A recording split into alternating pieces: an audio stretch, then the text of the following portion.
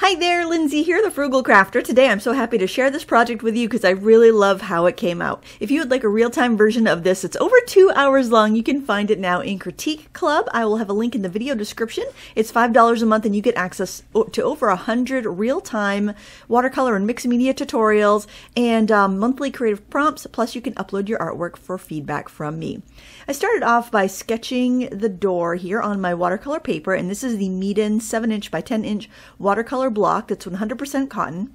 I love to recommend this paper because it is really beautiful quality and very affordable. When you're looking at 100% cotton watercolor papers in like say Michael's or any of your brick and mortar stores, they're expensive. Even if you're looking at them at your um, online stores, they're very expensive. So I like to be able to offer something or recommend something that is 100% cotton that will uh, get the job done and be a pleasure to paint on and not hinder your experience as an artist. I'm using a Blackwing matte pencil to sketch, basically because it's really dark and soft. So because it's soft, it erases very easily. I don't have to press hard to make a line, but because it's really dark, you can see my lines really well. I would not recommend you draw this dark on your own paper, but um, I got to make sure it shows up well on the screen. When I do things like the uh, the hinges, what I'm trying to do is just make them symmetrical and make them match each other, and not necessarily worry about them being exactly like they are in the picture. I just want to have this door that's relatively symmetrical and uh, that way when I start to paint the more organic um, elements like the stones and the like kind of the branches and like it looks almost like there's like some uh, vines of evergreen some sort of um, viney evergreen plant growing around the building. I just want to get um, get kind of the focal point fairly symmetrical. Um, the steps here coming down in front of the door, I think are also really nice for adding depth since they get larger and wider as they come towards the viewer. They physically do get wider, but also having something like that almost leans to like a one point perspective and does make the, um, the piece feel a little bit deeper and a little bit more dimensional.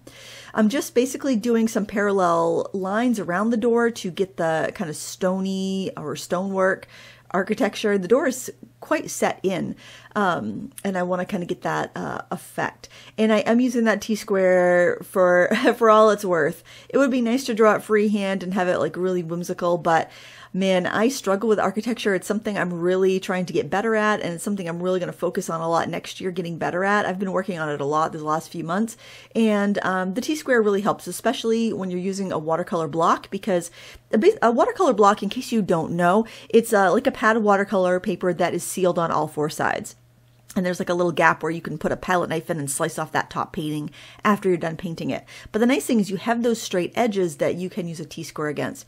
And these T-squares are a steal of a deal. I think, let's see, I paid about $7 for three of them on Amazon. It's from the Mr. Pen Company and um, they're great. I have one at, um, at my desk upstairs and one at my desk downstairs and they are wonderful. Now the watercolors I'm using here are actually sample dots from Masha's Watercolor, which is this beautiful handmade watercolor watercolor maker on Etsy. And I know I don't like talk about handmade watercolors that much because honestly, um, I, I really enjoy the consistency of commercially made watercolor.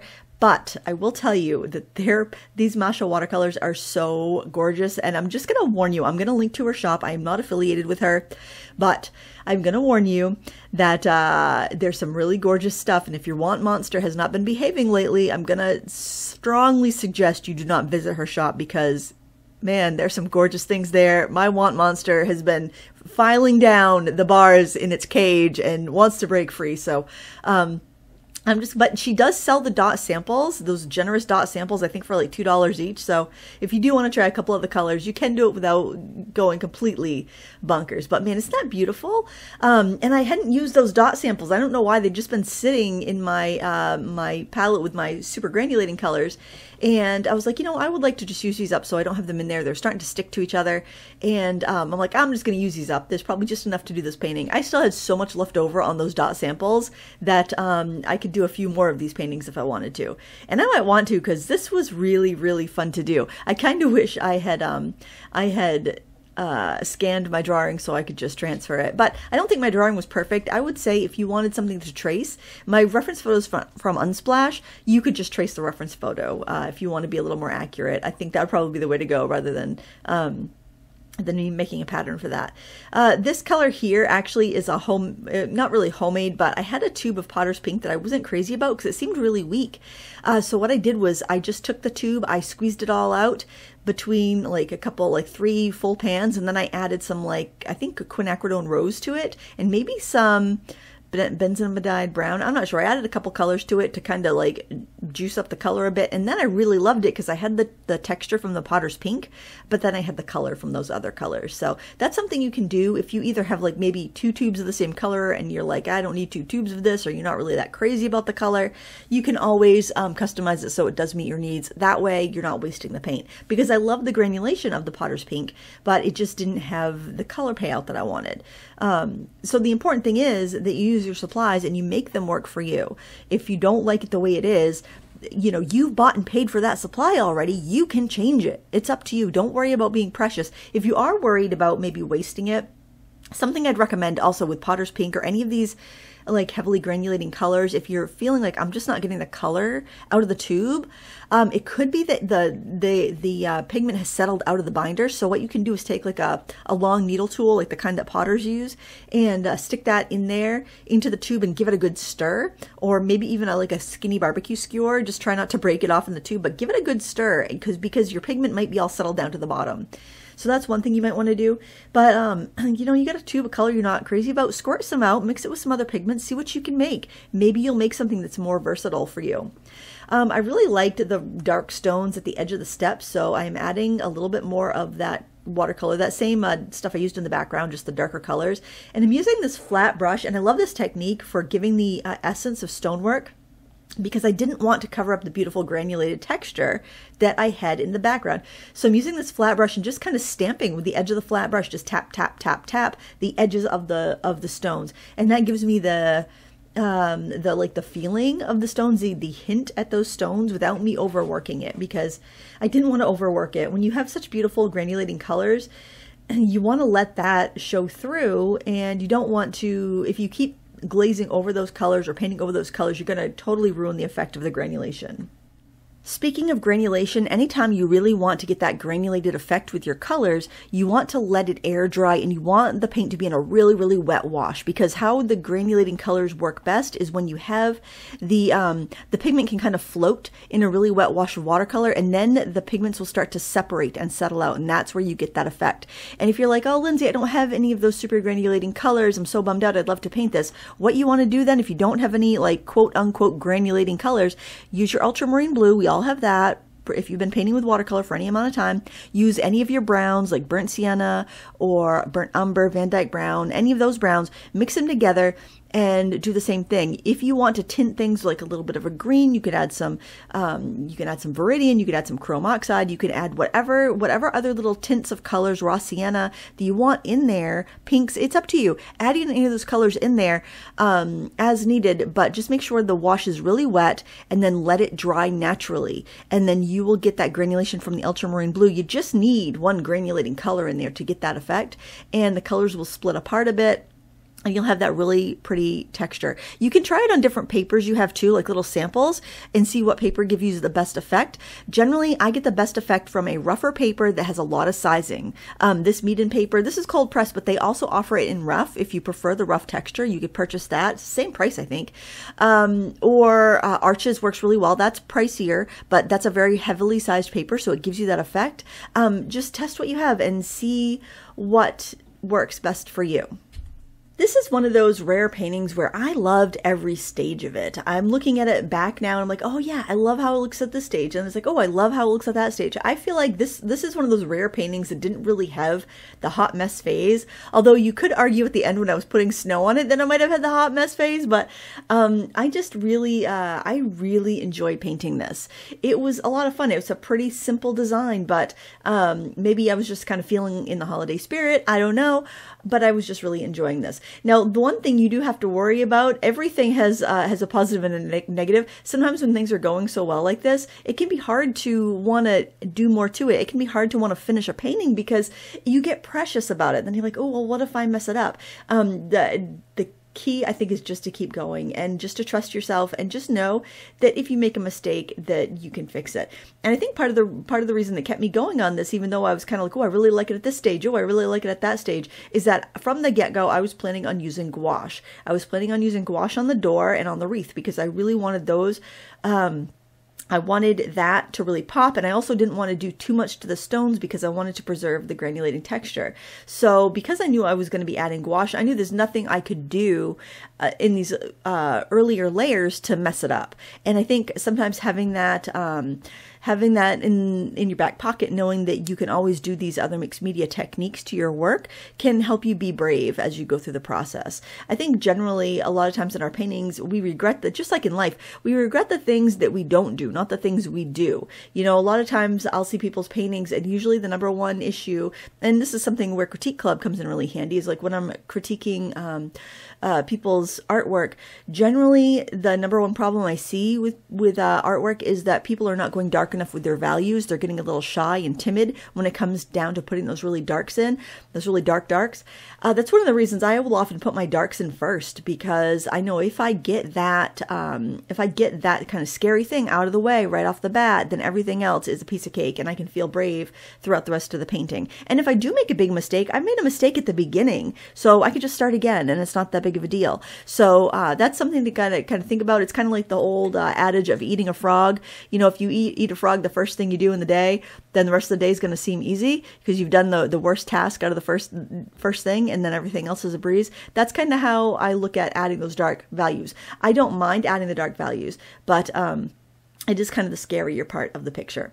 Now, I want to give the impression of these uh, wooden, like that kind of wainscoting type pattern of the the wood on the door so I'm just using my T-square and just dragging my brush across it um, just be careful as you get beyond the area that's going to be red because you're you're probably going to get some paint underneath that T-square and it's going to want to drag. So just be careful. I just wanted to get that subtle texturing. And if you do accidentally go into like the stonework underneath, you could scrub it back. This is gouache lifts up a lot easier than watercolor because it doesn't absorb into the paper. It sits on top of the paper. So you do have that little bit of um, uh, kind of an undo button there. I and I was being sloppy. You don't need to be, you know, you can be careful and avoid that. And uh, the colors I'm using here, I've in the little tiny portable painter palette, I have the Daniel Smith mixing set, which is a Hansa yellow, pyrrole red, ultramarine blue, and titanium white. And then I did buy a burnt umber when I bought that set. Um, I have a goal to buy like the smaller mixing sets of all the major brands and uh, review them and compare them and see what's the best value for money. I think that Daniel Smith gouache is is top quality. It is kind of expensive though. Um, and then those little dabs on my palette, the uh, the yellow deep and the phthalo blue are M. Graham, and I haven't used. I just bought them. I haven't used them enough to really form an opinion, but so far so good. They actually felt a lot like their watercolors, um, but you know, like I said, it's not enough to give a good review. I like using the phthalo blue with that pyrrole red to make a nice deep dark shadow. And then I've got a dab of Holbein black on my palette just because I was just reaching into my pro gouache drawer. I think this would be a really nice design for a Christmas card or maybe even like a you know just a frame as a Christmas decoration. And I plan on scanning this um, and then maybe framing it and putting it up for Christmas.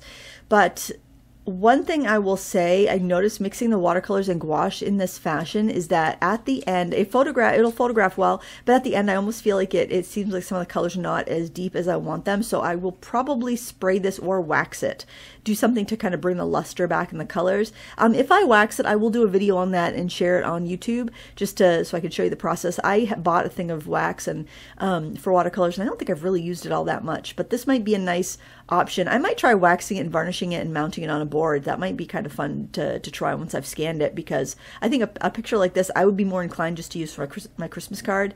Um, because I've kind of gone away from making handmade cards for Christmas to uh, doing a painting and having it printed for for cards for my friends and family. But uh, I think uh, I think this would, this would just lend itself really well. I think the aspect ratio of seven inches by ten inches would work really well for that. And, um, and yeah, I, I, just think it would be a really nice um, a really nice thing to do. Um, so I'm just pretty much adding the details here. I took the red and phthalo blue since I'd already used that for the shadows under the wreath and I'd used it in the, the other colors like the green for the wreath. I took those two colors and I added some black to it because I did want a nice deep black, but black can feel like a black hole and be rather dull. And you know, honestly, after I, have seen this painting dry, I kind of regret using the black at all. I think if I just used the pyrrole red and the um, the phthalo blue, that would have been dark enough and the, the my blacks, my shadows would have much more luster than they did with the black. But I'm hoping that by waxing this painting eventually it'll bring that luster back. So if you're curious about that, if you'd like to see a tutorial on waxing a watercolor painting, just go ahead and leave me a comment. Um, if people want to see it, then I can certainly do, I'll certainly try it because I'm on the fence whether I'm going to try that or not. But if enough of you guys want to see it, I will do it. I will sacrifice this painting to see if it works. I'll scan it first though, just to be on the safe side. But, um, my gosh, I just enjoyed painting this from beginning to end. And it's funny because I was kind of in a mood. I've um I, I call it uh, cleaning, and sometimes I'm just like, oh, I know I need to get this video up, but I don't know exactly what I want to do. But it's got to be good because I'm kind of late getting my critique club video up for November. Um, so like while I'm thinking about it, I will clean, and I cleaned my filming room. I cleaned the room of Horde. I cleaned and I vacuumed and mopped my house. I took down the fall decorations. It's you know I was I was procrafta cleaning. Um, I also do this thing called uh, productive procrastination, where sometimes I'll have a lot of creative ideas, but I'll have like actually one thing I have to actually get done and I will do all these other creative ideas I have and, and, then that that thing I actually have to do that will be like I will I will start it when I just have enough time to finish it before it's due. Are you guys like that? Do you do you do you um do you procrastinate or do pro- productive procrastination? Let me know that too in the comments below. I want to know if I'm alone on this or not. But at least I'm getting stuff done, so uh so I don't think it's bad. I think sometimes having a deadline is good because um or having something you absolutely have to get done is good because then it's like those good ideas pop into your head like oh i wish i had time to do this because this is a good idea. So i just have to make sure that when those ideas pop in my head and i don't have time to do them that i put them on a little note in my phone. So when i do find that i have this big chunk of time and i'm not feeling inspired and i don't know what to do then i can look at that list and be like oh yeah i forgot i wanted to try that and then i can go ahead and and do those. Um, now I'm adding a little, I'm making a, a, highlight for the wreath. Now the wreath in the reference photo is very dark. It's almost black looking, but I wanted the wreath to be the focal point. Like I said, I thought this would be a nice Christmas um, card idea. And so I am mixing a little bit of white with that pre-mixed, the green that I had mixed earlier. And I'm doing just little highlights in there. And I'm kind of playing with how, what I want to do for highlights and brightening that bow because the bow really isn't as bright as I wanted it to be. Probably because the door ended up, I made the door a little bit brighter than um, than I was first planning to. So just kind of keep that in mind. Keep your contrasts in mind. Make sure you have enough uh, contrast here and there to get the look that you want. To make sure your focal points really do pop the way you want them to. I'm using really dark gray here and doing that stamping technique that I showed you in the stones originally. I'm doing that on these little, this little weird uh, kind of bump out in the bottom of the building. It's almost like a foundation type area and I'm just kind of reinforcing my steps. And boy, I, I love the way this looks. I put a little dark under the door so you could kind of see that it isn't like you know, there's a little gap between the stones and the door. And uh, yeah, I'm just kind of um, I'm just kind of puttering away. I decided that the wreath needed a little more shadow to help it pop out against the door, and a little more shadow kind of um, next to the door on the stones to make the door recess in a little bit more. So it's a little like, you know, puttery. We're, we're just kind of fussing around here at this point. And, um, it's hard to tell where the gouache is wet, how dark it is there in that upper left corner, so I'm giving it a quick dry so I can really assess my values.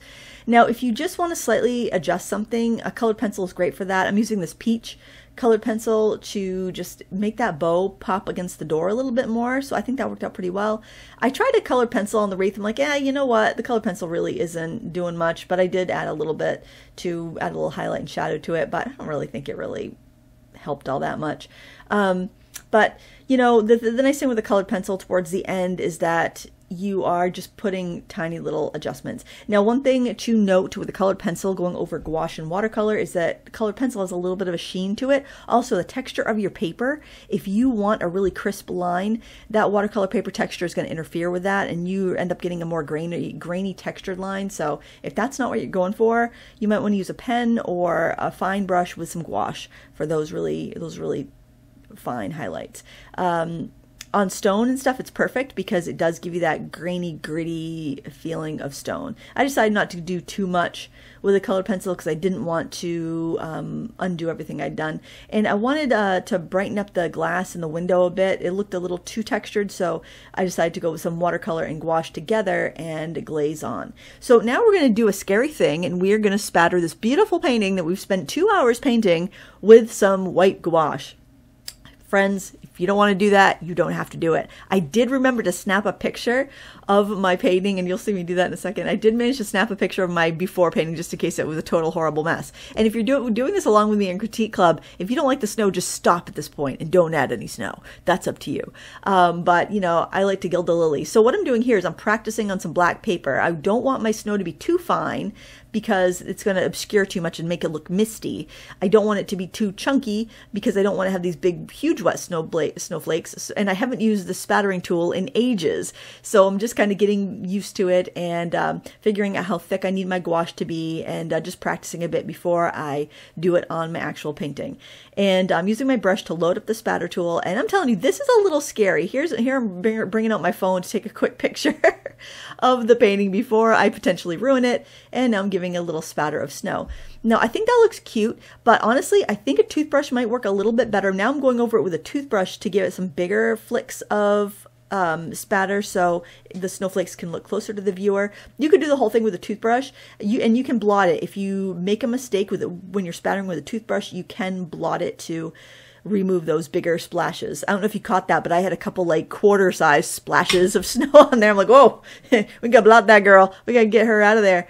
Uh, and then I'm taking a fine brush to a small round brush I guess it's not that fine, uh, just to dab on some snow where I think it would naturally collect. Now, because the door is recessed, we're not going to see snow piling up on the wreath, but we will see snow on the um, stonework around the door and on the steps. And I'm thinking like the edges of the steps, like maybe the uh, somebody has come out and um, and swept the steps a few times, but it's kind of collected at the edges. That's what I'm kind of thinking there. And I'm dabbing on some bigger snowflakes that would be closer to the viewer for a little bit of depth and perspective. Now, you know what? I have to say, looking back at this, um, and I think if I wax this painting, I'll bring back a little more of the luster and color back out again. But I think using the spatter tool gave me too fine a mist. I should have had my paint maybe a little bit wetter or maybe just done the just have used the toothbrush, I think that would have given me a much better effect. But then again, I also have the painting flat, so we're losing a lot of the um, losing a lot, you know, a lot of it's getting, getting kind of like bleached out a bit. So when you see the photos at the end, you'll see how it really looks. Um, but uh, but overall, I'm pretty happy with this. I think I think if if I did have to do one thing over, I would have just used a toothbrush and not messed with the spatter tool. But there you can see how it really looks. It's not bad. I think it's really pretty, and I think it would make a lovely Christmas decoration or Christmas card. If you enjoyed this and like to see it in real time, check out Critique Club. Link is in the video description. Thanks so much for watching. Until next time, happy crafting. Bye.